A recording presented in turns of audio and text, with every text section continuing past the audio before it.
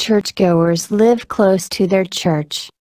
68% of churchgoers say it takes them 15 minutes or less to get from their home to their place of worship, according to research from the Baylor Religion Survey. A third of high school dropouts say they never attend church.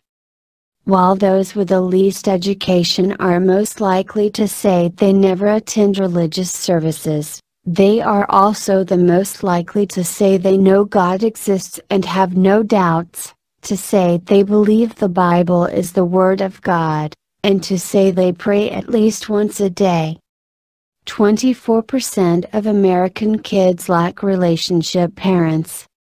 Recent research shows 24% of Americans aged 25 to 32, 7.9 million young adults, lack an active relationship with one or both parents.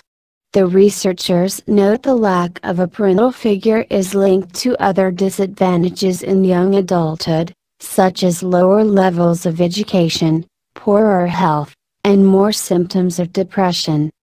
This is ChristInCulture.com.